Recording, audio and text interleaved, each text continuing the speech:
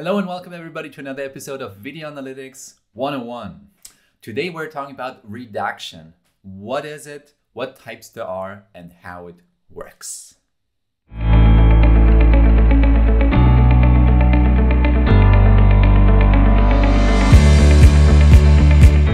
All right, so what is redaction?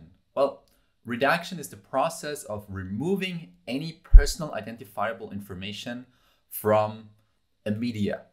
In our case, in video surveillance, obviously that means typically a video or it could be even snapshots that we have from our CCTV footage. And redaction is removing any personal identifiable information.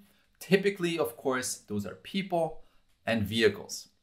And we use redaction to make them not visible anymore for the purpose of privacy protection and, of course, to also comply to local data protection laws.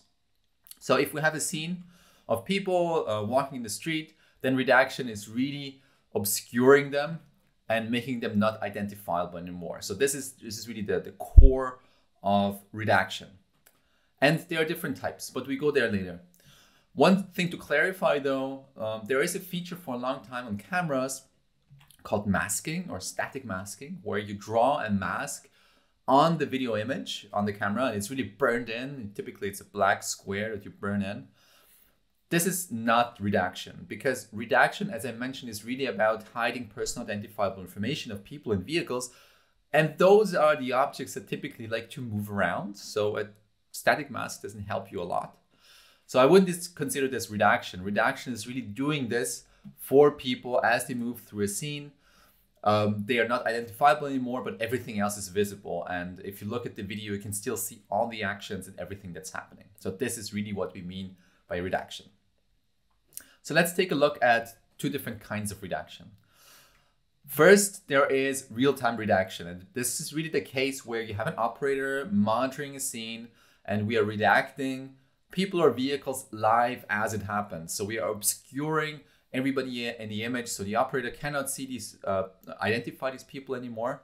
But in case something is happening, there might be a way to unlock the original video, for example, with a four eyes principle with the okay of a supervisor, for example. So this is really live. It's it's as it happens um, when you're doing video monitoring, and a distinction. Um, and this is very important because it's a totally different kind of technology that you need if you have really have to make sure that you are redacting as it happens live.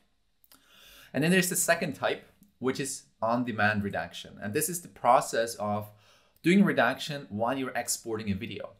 So typically this could be when you found a, uh, an evidence that you want to share with the public or somebody else where you need to make sure that the privacy of uninvolved individuals is protected, but you still might, might want to show the perpetrator.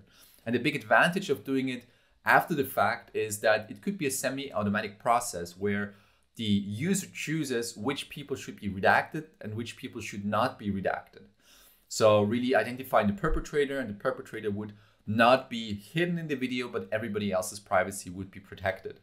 So it's a completely different use case than real-time redaction because you're doing it after the fact when you export the video. And these two different types also define the technology you need in order to do this. For real-time redaction, it's typically motion detection that you use because motion detection is so robust that you are can be pretty sure that everybody in the video is really um, redacted in real time as it happens. Because since you have to do it live, you have to make sure that there is no way that somebody um, gets unhidden. So for example, if you use a person detector model, there's a certain probability that you don't detect the person and then the person becomes visible. So you'd rather try to use a technology that's uh, secure and you can be kind of sure that it's still uh, protecting people. So typically you use motion detection for this. For real-time redaction, it's a different story though, because it's happening after the fact. It's a semi-automatic process. So you can be a little bit more adventurous and provide more features because the user can correct it anyway if there was a mistake. So there typically you use a technology. So it could be a person detector, it could be a vehicle detector, it could be even facial recognition that it identifies the same people. So the, the operator could just choose once and click on the person once that this person should not be uh, redacted. And uh, and throughout the video facial recognition would make sure that this person is excluded excluded and everybody else would be redacted. Um, and again There, using person detection and, and, and, and facial recognition, you would add a tracker on top to track that those are the same people. But no matter the, the, the, technology, redaction is becoming more and more important in video surveillance and it's being utilized more and more.